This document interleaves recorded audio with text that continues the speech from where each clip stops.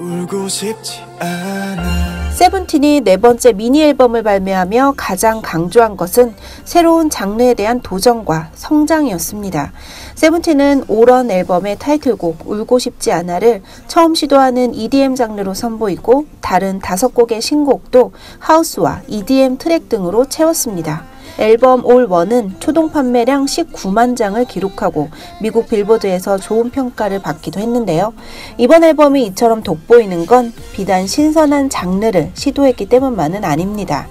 울고 싶지 않아는 클럽이나 페스티벌 같은 파티 문화에 사용되는 EDM 장르긴 하지만 사운드만 빌려왔을 뿐 멜로디나 뉘앙스는 너무나도 서정적입니다. 곡을 만든 우지와 프로듀서 범주는 소년이 처음 마주한 깊은 슬픔을 서정적인 멜로디의 신디사이저 사운드와 격렬한 비트를 서로 교차시켜 극적으로 표현했습니다.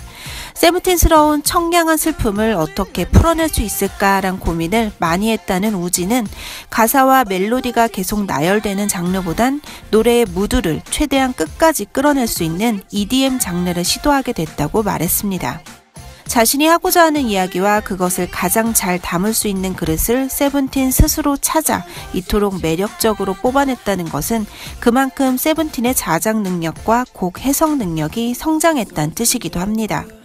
수준 높은 곡 해석 능력은 완벽한 퍼포먼스로 이어집니다. 퍼포먼스 팀 호시가 주도적으로 구성한 울고 싶지 않아의 안무는 슬픔 앞에 절박하지만 동시에 우아합니다. 무릎을 꿇고 절도 있게 팔을 움직이는 군무와 현대무용을 연상케 하는 솔로씨는 소년의 슬픔을 누구라도 가볍게 여기지 않기를 소년이 슬픔을 딛고 성장하기를 바라게 합니다. 호소력 있는 보컬에 뒤이어 등장하는 절도 있는 후렴구의 퍼포먼스는 그 자체가 보컬을 대신할 정도로 곡의 클라이막스를 완성합니다. 이 부분은 세븐틴 스스로가 꼽은 가장 의미 있는 안무이기도 합니다.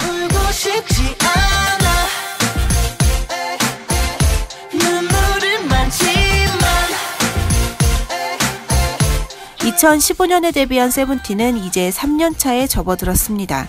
힙합팀과 퍼포먼스팀, 보컬팀으로 유닛을 나누고 자체적으로 신곡과 퍼포먼스를 만드는 세븐틴은 그간 4장의 앨범을 통해 소년의 사랑과 열정, 슬픔을 맥락 있게 풀어냈습니다. 동시대인들의 대변인, 자체 제작돌이란 점에서 세븐틴은 방탄소년단이 걸었던 길과 비교되기도 하는데요.